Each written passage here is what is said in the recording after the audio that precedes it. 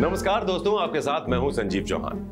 तो दिल्ली, जिसे अक्सर दिलवालों की दिल्ली कहा जाता है, लेकिन दिल्ली वालों को भापना बहुत मुश्किल होता है। और ये मुश्किल इस बार आपके सामने भी आई, क्योंकि आप ये मुश्किल काम नहीं कर पाई नतीजा ये हुआ कि दिल्ली में बीजेपी के विजय रथ को आप और कांग्रेस नहीं रोक पाए। वैसे तो इस बार के लोकसभा चुनाव में हरियाणा और उत्तर प्रदेश के राज्यों से विपक्षी दलों का फिर से उभार देखने को मिला है, लेकिन दिल्ली की कहानी अलग थी। भारतीय जनता पार्टी ने दिल्ली में क्लीन स्वीप की हैट्रिक हासिल की। इस नतीजे ने कई चुनावी पंडितों को गलत साबित कर दिया। क्योंकि दो प्रतिद्वंदी आम आदमी पार्टी और कांग्रेस ने बीजेपी को रोकने के लिए हाथ मिलाया था। लेकिन दिल्ली में बीजेपी के विजय रथ को यह गठबंधन रोक नहीं पाया। दरअसल दिल्ली की लोकसभा सीटों पर गौर करने वाली बात यह रही कि सात सीटों पर जीत का अंतर कम हुआ है। हालाँकि बीजेपी की जीत इसकी स्थानीय इकाई के लिए मनोबल बढ़ाने वाली है। राजधानी की मतदाताओं ने बीजेपी द्वारा निर्धारित नेशनल नैरेटिव को प्राथमिकता दी। राज्य और राष्ट्रीय चुनाव नतीजों के बीच का जो फ़र्क है, वो बताता है कि दिल्ली के वोटर्स मतदान करते वक्त स्थानीय शासन और व्यापक राष्ट्रीय मुद्दों के बीच के अंतर को समझते हैं। और इसीलिए अब ये जान लेते हैं वो कौन सी वजह थी जिससे दिल्ली की ये सियासी जंग बीजेपी के पक्ष में एक तरफा बन गई और आप पूरी तरह से सिमट गई?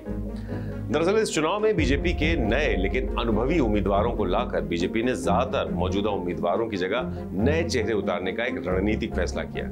इससे पार्टी में नई ऊर्जा और नज़रिए का संचार हुआ। नए चेहरे, कोई नौसिखिए नहीं थे। उन्होंने नगर निगम स्थल पर अपने कौशल को अच्छी तरह से निखारा था। उनमें से तीन पूर्व नगर निगमों के मेयर रह चुके थे। पश्चिमी दिल्ली से बीजेपी सांसद कमलजीत सहरावत, तत्कालीन दक्षिणी दिल्ली नगर निगम के पूर्व मेयर थे। इसी तरह पूर्वी दिल्ली का प्रतिनिधित्व करने वाले हर्ष मल्होत्रा ने पूर्वी दिल्ली नगर निगम का नेतृत्व किया था। उत्तर पश्चिमी दिल्ली से जीत दर्ज करने वाले योगेंद्र चंदोलिया उत्तर दिल्ली नगर निगम में टॉप पर थे। बीजेपी की पसंद जमीनी स्तर पर शासन के अनुभव वाले नेताओं पर उनके विश्वास को दर्शाती है। पूर्व महापौरों के अलावा अन्य उम्मीदवारों को भी कई क्षेत्रों का अनुभव है। जैसे दक्षिणी दिल्ली के उम्मीदवार रामवीर सिंह विधोड़ी मौजूदा वक्त में दिल्ली विधानसभा में विपक्ष के नेता है। चांदनी चौक के नए सांसद प्रवीण खंडेलवाल एक मशहूर व्यापारी नेता है। वो confederation of all India traders union के चीफ हैं। ये एक प्रभावशाली संस्था है, जिसने 2005-6 में दिल्ली में सीलिंग और तोड़फोड़ के दौरान काफ़ी सुर्खियाँ बटोरी थी। इस दौरान खंडेवाल व्यापारियों और स्थानीय निवासियों दोनों के लिए एक कट्टर वकील के तौर पर उभरे थे। इन लोगों को उतार कर बीजेपी ने सही फैसला किया, लेकिन इस मामले में आप पिछड़ गए, क्योंकि आम आदमी पार्टी और कांग्रेस सीट का बंटवारा कैसे हो यह फैसला नहीं कर पा रहे थे। बीजेपी ने वोटिंग से करीब 70 दिन पहले सभी सात सीटों पर अपने उम्मीदवारों का ऐलान कर दिया था। दिल्ली में 25 मई को मतदान होना था और बीजेपी की पहल से ही चल रही, जो बीजेपी की तैयारी थी, वो पहले से ही चल रही थी। उस तैयारी से फ़ायदा ये हुआ कि बीजेपी को जनसंपर्क का काफ़ी मौका मिला, काफ़ी वक्त मिला। बीजेपी के उम्मीदवारों ने अपनी पब्लिक रैलियों की तैयारियाँ बहुत सावधानी पूर्वक की। पार्टी कार्यकर्ताओं और मतदाता दोनों से जमीनी स्तर पर जुड़ने के लिए एक अच्छी खासी मज़बूत तैयारी की गई। आप कांग्रेस गठबंधन के खिलाफ अपनी चुनावी रणनीति में बीजेपी बेहद एक्टिव रही। इस गठबंधन को वो एक ऐसा खतरा मानती है जो दिल्ली में उसकी मौजूदगी को कमज़ोर कर सकता है। गठबंधन की इमेज को नुकसान पहुँचाने के लिए बीजेपी ने इस साझेदारी को निशाना बनाया और इसे हताशा और राजनीतिक स्वार्थ से पैदा हुई व्यवस्था के तौर पर लोगों के बीच पहुँचाया। बताया, वहीं कांग्रेस पार्टी में चल रही अंदरूनी उथल पुथल से बीजेपी की स्थिति और मज़बूत हो गई। टिकट बांटने के दौरान आंतरिक कला विशेष रूप से साफ़ हो गई और सामने आ गई, जिससे कांग्रेस के अंदर काफ़ी असंतोष पैदा हो गया। इस कलह का नतीजा दिल्ली कांग्रेस अध्यक्ष अरविंदर सिंह लवली के इस्तीफे के तौर पर सामने आया, जिन्होंने खुले तौर पर गठबंधन की आलोचना करते हुए इसे पार्टी कार्यकर्ताओं के हितों के विपरीत बताया। लवली के बाद राजकुमार चौहान, नसीब सिंह और नीरज बसोया सहित अन्य सीनियर नेताओं ने भी बीजेपी का दामन थाम लिया। इस्तीफों की इस लहर और उसके बाद प्रमुख हस्तियों के बीजेपी में शामिल होने से बीजेपी का मनोबल काफ़ी बढ़ गया।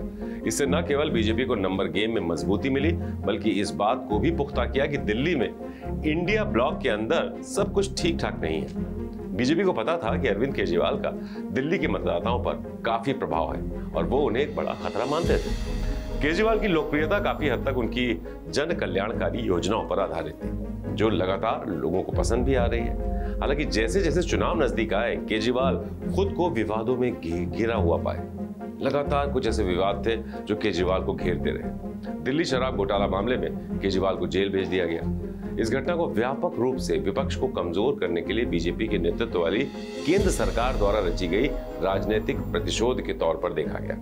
नतीजतन केजरीवाल को काफ़ी सहानुभूति मिली और चुनाव प्रचार करने के लिए सुप्रीम कोर्ट से अंतरिम जमानत मिली। ये सिनेरियो बीजेपी के लिए एक खतरनाक चुनौती बन गया। हालाँकि इसके बाद कुछ ऐसी घटनाएँ हुई जिससे बीजेपी को अच्छा खासा फ़ायदा मिलता नज़र आया। आपकी आंतरिक कला तब सामने आई जब राज्यसभा सांसद स्वाति मालीवाल ने मुख्यमंत्री आवास पर केजरीवाल के पीए द्वारा शारीरिक हमला करने का आरोप लगाया। इस घटना का बीजेपी ने केजरीवाल की इमेज को और खराब करने के लिए बीजेपी ने बहुत अच्छे से, बहुत चतुराई से इस पूरी घटना का फ़ायदा उठाया और उन्हें न केवल भ्रष्ट, बल्कि महिला विरोधी तक साबित करने की कोशिश की। अंतरिम जमानत पर बाहर आने के बाद केजरीवाल को शुरुआती बढ़त तो मिली, लेकिन उसका असर भी बाद में खत्म होता नज़र आया। दूसरी ओर, आपने दिल्ली में जातिगत फैक्टर पर भी काम करने की कोशिश की, लेकिन वो सफल नहीं हो पाई। दिल्ली में आप और कांग्रेस, पंजाबी और जाट समुदायों से कोई भी उम्मीदवार खड़ा करने में फेल रहे। जिनका शहरी और ग्रामीण दिल्ली दोनों में काफ़ी प्रभाव था। इससे भी ज़्यादा चौंकाने वाली बात यह कि इंडिया ब्लॉक ने बीजेपी की दो महिला प्रतिनिधियों का मुकाबला करने के लिए एक भी महिला उम्मीदवार मैदान में नहीं उतारा, जिसका नुकसान आप और कांग्रेस को झेलना पड़ा। लेकिन बीजेपी को पता था कि दिल्ली जैसे शहर में भी जाति और लिंग संबंधी फैक्टर है, क्योंकि मंगलवार को आए नतीजों के बाद बीजेपी के टिकट बांटने के पैटर्न पर भी बातें होने लगी। बीजेपी ने सात में से दो टिकट महिलाओं को दिए, जो सीधे अरविंद केजरीवाल की महिला समर्थक योजनाओं का मुकाबला करते नज़र आए। इसके अलावा बीजेपी के उम्मीदवार जातीय समीकरण पर भी गौर किया गया। जब उम्मीदवारी तय की गई तो जातीय समीकरण पर भी बीजेपी ने बहुत ध्यान दिया था।